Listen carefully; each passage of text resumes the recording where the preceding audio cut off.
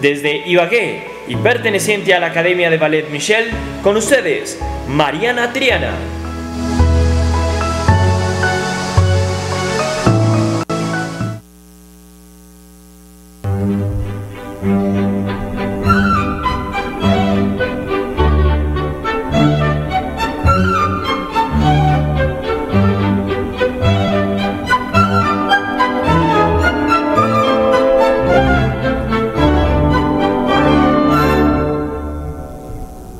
thank you